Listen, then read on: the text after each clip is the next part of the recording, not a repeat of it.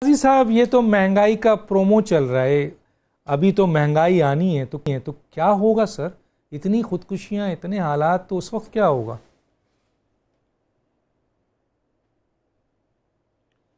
دیکھیں ڈاکٹر صاحب، میں پہلے بھی آپ سے بات کر رہا تھا اور اس ساری صورت حال میں میں نے ایک لفظ، ایک کوئی چھوٹے سے دو چار سنٹنس بولے تھے کہ انویسٹمنٹ جنہوں نے کی تھی نا انہوں نے اپنی بما پروفٹ کی انویسٹمنٹ نکالنی ہے۔ اس میں آپ نے دیکھ لیا، چینی کے بحران کی آپ نے بات کر رہے تھے۔ چینی کے بحران کی اس وقت صرف یہ بتا دیں، سندھ کی فیکٹریاں بھی بند کروا دی گئیں۔ میاں نواز شریف فیملی کے خاندان کی صرف ایک اس وقت مل چل رہی ہے۔ چھ سات ملیں، ساؤتھ پنجاب میں کس کی ہیں؟ اگر یہ ساری چیزیں، یہ عامر کیانی کی جو بات دامڑا صاحب نے کی ہے، یہ میرے اپنا آگے تھا کہ میں نے کہا کہ آگے چل کے میں آپ کو بتاؤں گا۔ اس وقت مارکیٹ کے اندر کیا ہے؟ جو ادویات کی مارکیٹ میں لوگ کہتے ہیں کہ پانچ ارب روپیہ لے گیا ہے عامر کیانی۔ عامر کیانی نے نوٹیفیکیشن کا پانچ ارب روپیہ لیا ہے۔ وہ پانچ ارب روپے میں کون کون حصے دار ہیں؟ وہ کسی وقت بتائیں، میں آپ کو بتا دوں گا۔ کہ کون کون حصے دار ہے اس پانچ ارب روپے کے اندر؟ اوپر سے لے کے نیچے تک سب اس میں حمام میں ننگے ہیں۔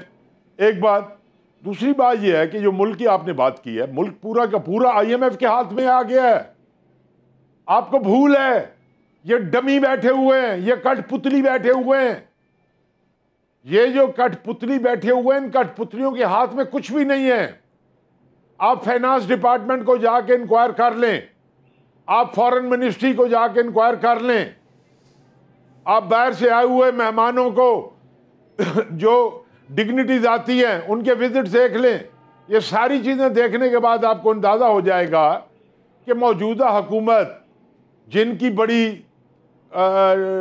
اپنا حمایت کر رہے ہیں جناب میرے دوست، میرے پیارے بھائی بسرا صاحب، میں صرف یہ بات آپ کو بتا رہا ہوں کہ سوال یہ پیدا حکومت نے کیا کیا ہے۔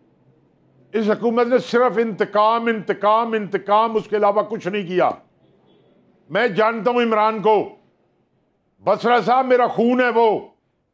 مجھے آپ سے، آپ کو کچھ بھی نہیں پتا عمران کے بارے میں، جو کچھ مجھے پتا ہے۔ اور میں آپ کو ایک بات بتا دوں۔ عمران آخری حد تک جائے گا انتقام لینے کے لیے۔ عمران کو کوئی سروکار نہیں ہے، غریب مر رہا ہے جی رہا ہے، کوئی خودکشی ہو رہی ہے، کوئی کیا ہو رہا ہے۔ بالکل اس کو کوئی پرواہ نہیں ہے۔ اس کو صرف ایک بات کی پرواہ ہے کہ میں نے بزدار کو کیسے بیٹھانا ہے، اپنی ضد کیسے پوری کرنی ہے، اور میں نے انتقام کیسے لینا ہے۔ پورے کا پورا ملک آئی ایم ایف کو گروی پڑا ہوا ہے اس وقت۔ اور ساری صورتحال کا تماشا مختلف قوتیں بیٹھ کے دیکھ رہی ہیں۔ اور اینڈ ریزلٹ جو نکلے گا، خدا نہ خواستہ، خدا نہ خواستہ اس کا انجام نہ بسرا صاحب آپ دیکھ سکیں گے نہ میں دیکھ سکوں گا۔